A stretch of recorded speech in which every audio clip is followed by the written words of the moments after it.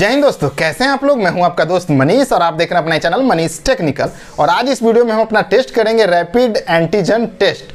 और इसे हमने परचेज किया है, जो टेस्ट किट है, इसे हमने परचेज किया है फ्लिपकार्ट से। ये दो पीस हमने परचेज किया है, क्योंकि आपको ये दो पीस लेना ही पड़ेगा। और इसकी प्राइस है ढाई सौ रुपये और इसे माई लैब के द्वारा बनाया गया है। और इसका नाम है CoviSelf covid nineteen rapid antigen test. Self test kit. और इस तरह का जो अभी सिचुएशन है, उसमें काफ़ी अच्छा ये सब प्रोडक्ट है।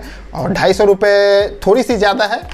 इसे मुझे लग रहा है जहाँ तक सौ रुपये के अंदर इसे रखना चाहिए था तो काफ़ी लोगों के लिए सहूलियत होता। लेकिन फिर भी जैसा सिचुएशन उसमें ढाई सौ रुपये में ये भी अभी मिल जाए तो काफ़ी अच्छा। और वो भी ऑनलाइन घर बैठे हमें ये मिल जा रहा है। और जो भी हमें टेस्ट करवाना है तो इसके लिए हमें बाहर जाना नहीं पड़ेगा। हम खुद से अपना टेस्ट कर पाएँगे। तो चलिए इस वीडियो में मैं अपना खुद का टेस्ट भी करूँगा और इसे कैसे यूज़ करना है, इसके लिए एक एप्लीकेशन भी डाउनलोड करना है। तो सारा कुछ प्रोसेस करेंगे और अपना टेस्ट करके भी बताएँगे आपको, मैं पॉजिटिव आता हूँ या निगेटिव आता हूँ। तो सारा कुछ इस वीडियो में क्लियर हो जाएगा। तो अंत तक हमारे साथ बने रहिए। इस वीडियो में हम अपना करते हैं रैपिड एंटीजन टेस्ट तो सबसे पहले इस टेस्ट किट के बारे में आपको बता देते हैं। इसे माइलैब कंपनी बनाती है और यहाँ पे इसे नाम दिया है CoviSelf covid 19 rapid antigen test self test kit और इसे इस्तेमाल करने के लिए हमें गूगल प्ले से या एप स्टोर से, जो एप्पल का एप स्टोर होता है, वहाँ से इसका एप्लीकेशन हमें डाउनलोड करना पड़ेगा।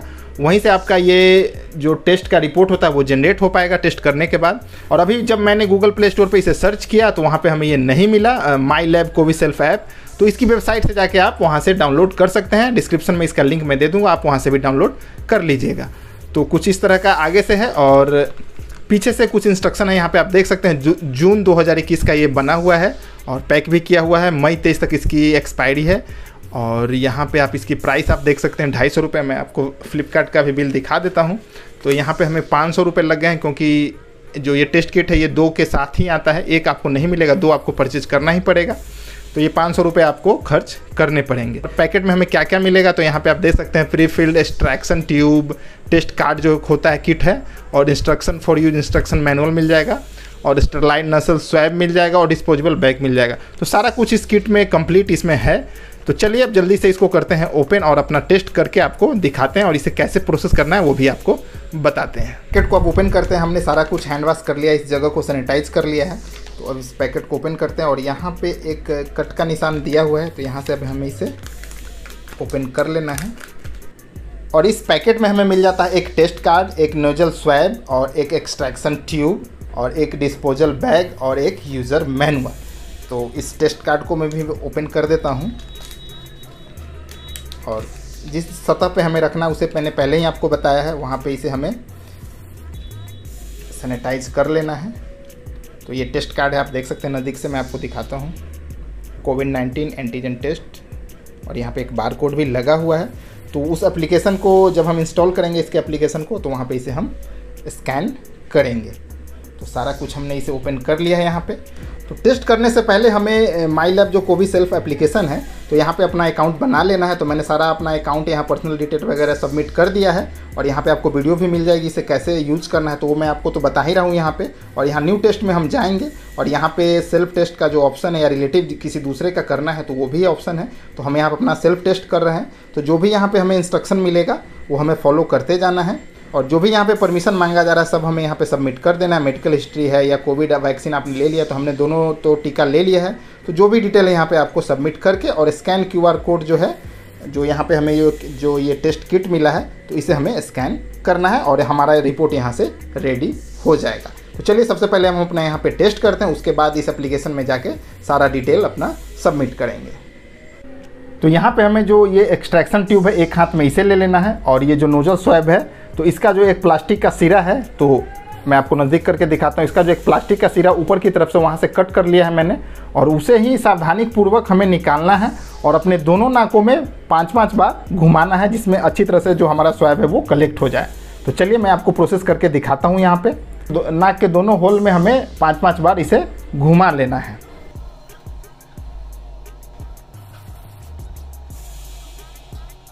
और इसे काफ़ी सावधानी पूर्वक जो एक्सट्रैक्शन ट्यूब है, इसको ओपन कर लेते हैं। और इसके अंदर हमें इसे पूरा डुबा देना है। और ये ध्यान रखना है, ये जो एक्सट्रैक्शन ट्यूब है तो यहाँ पे हमें नीचे वाले पोर्शन में इसे काफ़ी दबा के रखना है, यहाँ पे प्रेशर देना है। और इसे भी काफ़ी अच्छे तरीके से इसे इसमें 10 बार करीब इसे हम घुमाएँगे। इसे जो भी स्वाइब है, हमारा यहाँ पे कलेक्ट हो जाए।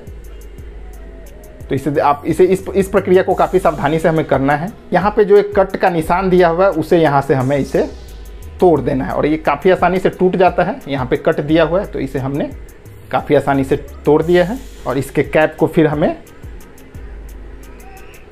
जो इसके साथ हमें जो कैप मिला, इसके हमें लगा देना है। और चलिए, इसे अब हम टेस्ट किट में रखते हैं और देखते हैं हमारा क्या रिपोर्ट आता है, निगेटिव या पॉजिटिव आता है। तो इस एक्सट्रैक्शन ट्यूब में जो हमने अपना स्वैब इकट्ठा किया है, उसकी दो बूंदे इस टेस्ट किट में हम रखेंगे और हमारा टेस्ट होना शुरू हो जाएगा। तो चलिए दो बड़ी बूंदे हमें इसमें रख देना है। तो यहाँ पे हम दो बूंदे हमने रख दिया है। और ये हमारा आप देख सकते हैं टेस्ट होना शुरू हो चुका है। और ये करीब 15 मिनट का मैक्सिमम समय लेता है। और 15 मिनट से अगर ज़्यादा हो जाता है तो वो टेस्ट टेस्ट मान्य नहीं होता है।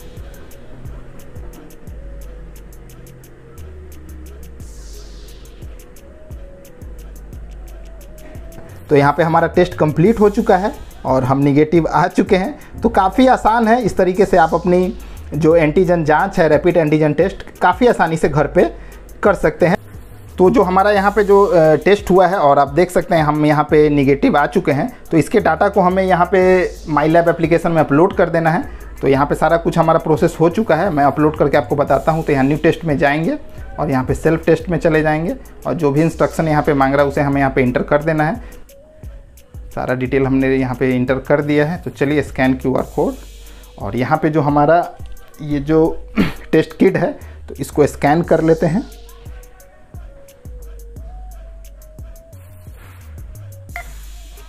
तो इसने सफलतापूर्वक इसे स्कैन कर लिया है और यहाँ पे आप देख सकते हैं, योर कैसेट आईडी इज़ तो कोवी सेल्फ जो इसका आईडी है, उसने भी इसे डिटेक्ट कर लिया है ऑप्शन को।